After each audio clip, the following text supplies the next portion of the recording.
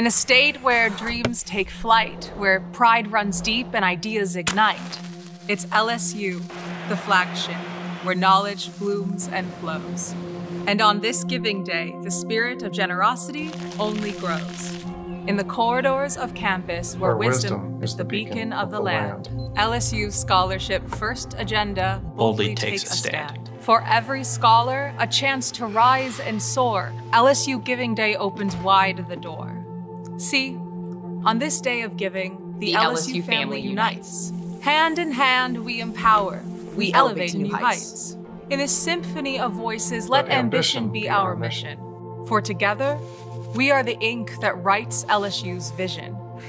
Imagine, if you will, a student's fervent dream, set aflame by a scholarship, a, A life life-altering altering beat. The flicker of possibility, the spark of a chance, fueled by generosity, a transformative dance.